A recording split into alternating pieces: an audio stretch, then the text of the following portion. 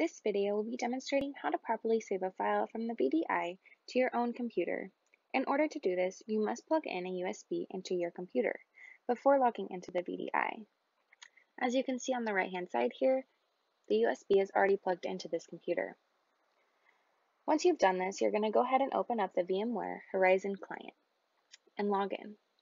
This should look the same pretty much the same on all computers, although they will look slightly different depending on what kind of computer you have. As you can see, it is opening up the UCC computer. Once you are in, it's going to show all the different applications. Remember that each of these applications, if you need to save them, you will need to save them to your own computer. For the purpose of this demonstration, I'm going to go ahead and use Microsoft Word. Once I'm in here, I'm just going to go ahead and open up a blank document. And for the purpose of this video, I'm going to be typing in a short sentence. That way it is easily recognizable once I save it. Note that it says VMware video instructions on how to save a file to your personal computer. Once you're done with your document and you're all done and ready to save, go ahead and to the top left corner and press save, then go ahead and press browse.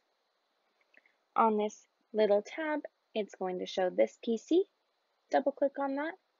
It will pull up a drop down menu under this PC. Scroll all the way down to find Network Drive Z.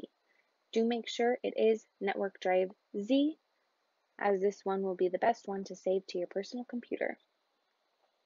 Once you're done with that, go ahead and press save. The saving process will take just a few seconds as it needs to completely save properly into your USB.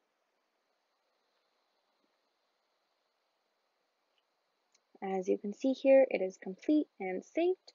This means that it should have gone onto the USB. It is important to understand that everything that you do within the VDI will be deleted if it is not saved properly. Using a USB ensures that it will save to your computer properly. If you do not use a USB and you do not plug it in before starting the login process of the VDI, then it is possible that you will lose all work. So please make sure that everything you do within the VDI, you save it onto a USB or use another method.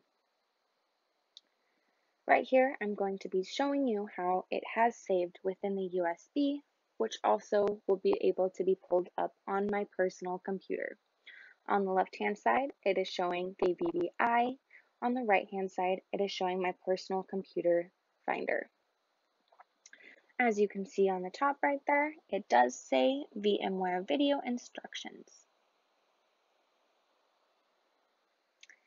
And on the left side, you can see as well that it says VMware video instructions,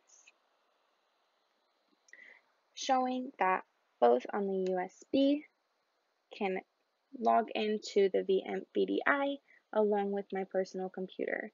This makes it so I can save work from the VDI to my personal computer.